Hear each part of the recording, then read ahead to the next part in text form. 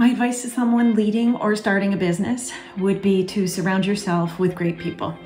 Uh, people who share your vision, people who share your values, and people who you like. Uh, then with that team in place, I think it is important to be deliberate and be strategic and to develop a plan. But as this year has taught us very well, um, know that nothing ever goes exactly according to that plan. And so with that in mind, I think you have to remember and try to take it easy on yourself